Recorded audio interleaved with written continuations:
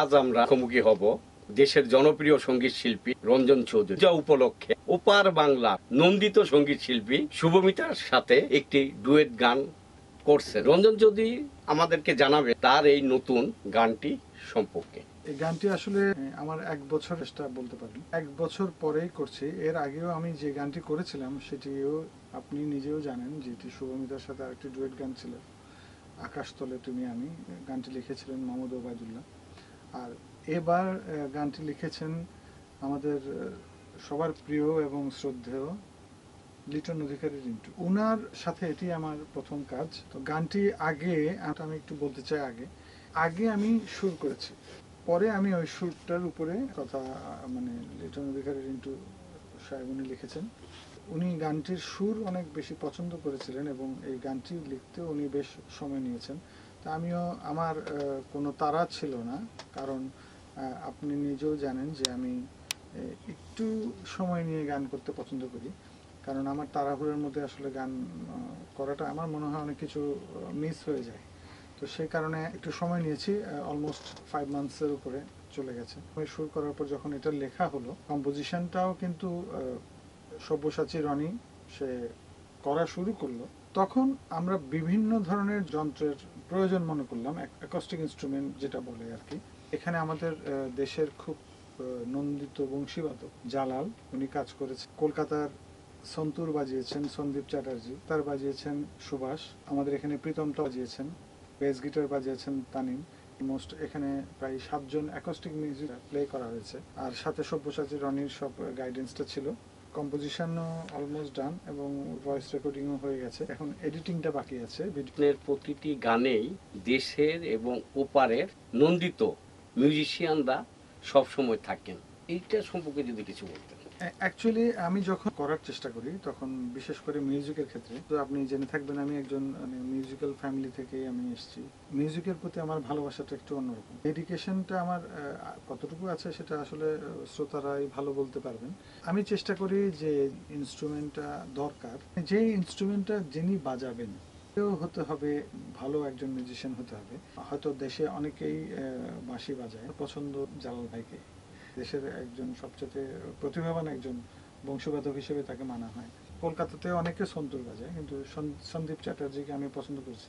কারণ হচ্ছে তার যে অভিজ্ঞতা এবং তার যে দক্ষতা, সেটা আমাকে অনেক বেশি বেশি নজর নজর কেড়েছে আর কি। এরকম সেতার বা সেরকম বেস গিটার বা সবকিছুতে প্রথম সারির যন্ত্রীদেরকেই আমি মানে প্রেফার করি। যে গানটি করলেন, প্রায় এক বছর পর, মাঝখানে এই গ্যাপটা কেন? অ্যাকচুয়ালি গান তো আসলে চাইলে তো প্রতিদিনই করা যায়। পছন্দ যে জিনিসটা, সময় নিয়ে আমি করি, কারণ হলো পছন্দ হলে করি, পছন্দ না হলে করি না।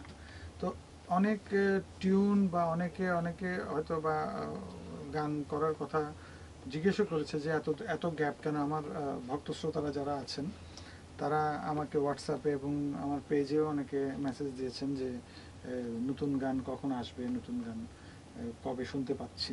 ওয়েল প্রিপেয়ার্ড না হলে প্রকাশ করতেই হবে। এরকম আসলে তাড়াহুড়োর মধ্যে আমি আসলে ওভাবে শুভমিতার সাথে যে ডুয়েট রোমান্টিক গানটি করেছেন এই গানটি সম্পর্কে যদি কিছু বলতেন।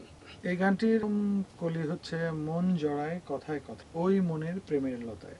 অসাধারণ লিখেছেন আমাদের শ্রদ্ধেয় লিটন অধিকারী রিন্টু। আমি ওনাকে আঙ্কেলই ডাকি। এত ভালো লিখেছেন এবং শুভমিতা দিয়েও অনেক বেশি পছন্দ করেছেন। যেমন গানের কথা কথাটা আসলে একদম মনে হচ্ছে সুরের সাথে একদম মিশে গেছে। কম্পোজিশন যা হয়েছে আশা করছি আমি গানটি শ্রোতাদের ভালো লাগবে। আমার সুরে মেলোডিটা অনেক বেশি প্রাধান্য পায়। আমি মেলোডি ছাড়া আসলে গান নিজের মতো করে আমি করে নিতে পারি না। যারা মেলোডি গানের ভক্ত তাদের কাছে অবশ্যই এটা ভালো লাগে আপনি শ্রোতাদের কোন দিকটি দিকে খেয়াল রেখে গানগুলো করে থাকেন?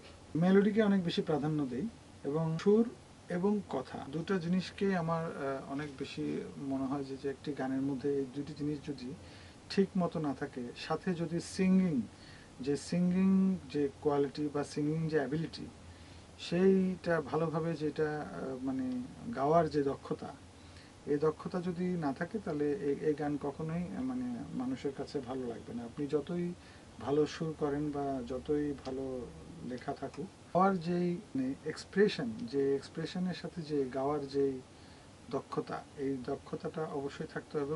এবং- আমি গানটি করার সময় আমি কিন্তু আহ, শুভমিতার দিকে চিন্তা করেই করেছিলাম গানটি। যে ডুয়েট গানটি যিনি গাইবেন তার যে দক্ষতাটা থাকার দরকার এই দক্ষতাটা আসলে শুভমিতা দিদি আছে। একজন শিল্পীকে কোন ধরনের গানের মাধ্যমে বাঁচিয়ে রাখতে পারে? অবশ্যই আমি বলব যে এটা একটি অবশ্যই মেলোডি গান অবশ্যই থাকতে হবে। সুরের মধ্যে মেলোডি অবশ্যই দরকার। এবং আপনি যদি একটু ভালোভাবে যদি আপনারা চিন্তা করেন বা আপনার যেসব গান আপনার মনে গেঁথে আছে আপনার মনে হবে, সেখানে অবশ্যই আপনার সেই নাইনটিসের যে মেলোডিয়াস গানগুলি নব্বই দশকের যে গানগুলি বা এর আগের যে গানগুলি, এগুলোই মানে মানুষের মনে থাকে। আমরা হয়তো কিছু সময়ের জন্য হয়তো কিছু আইটেম গান আমাদের অনেক সময় ভালো লাগে। লাগে না তা বলছি না। কিন্তু সেটাও আসলে সাময়িক একটা আনন্দের ব্যাপার। কিন্তু মেলোডি গান আমার মনে হয় সব সময় বেঁচে থাকে। আপনার শ্রোতাদের জন্য কিছু বলবেন? গান সম্পর্কে যে সাজেশন এটা আমার জন্য অনেক ইম্পর্টেন্ট কারণ পরবর্তী গানের জন্য আমি আসলে কি করব সেটা আমাকে শ্রোতারাই বলে দেন। শুভমিতাদির সাথে আমার একটি তৃতীয় গান। প্রথম গান বলো তো তুমি এটা লিখেছিলেন পঙ্কজ দেববাবু। দ্বিতীয় গান আকাশ তলে তুমি আমি। এই গানটি লিখেছেন মোহাম্মদ ওবায়দুল্লাহ। এবং তৃতীয় গানটি লিখেছেন আমাদের শ্রদ্ধেয় লিটন অধিকারী রিন্টু। আমার তিনটি গানই তিন রকম মেলোডিতে, মেলোডি দিয়ে সাজানো। এটার মিউজিক কম্পোজিশনের মধ্যে বৈচিত্র্য অনেক বেশি আছে। তো তাদের কাছে এটাই চাওয়া যে ভালো বাংলা গান শুনবেন, বাংলা গানের সাথে থাকবেন। এবং আমাদেরকে আরও বেশি উৎসাহিত করবেন যাতে নতুন নতুন আমরা ভালো বাংলা গান আপনাদেরকে উপহার দিতে পারি। আপনার এই ব্যস্ততার মাঝেও আমাদেরকে সময় দেওয়ার জন্য জেট এন্টারটেনমেন্টের পক্ষ থেকে অসংখ্য ধন্যবাদ। আপনাকেও ধন্যবাদ এবং জেট এন্টারটেনমেন্টকেও ধন্যবাদ।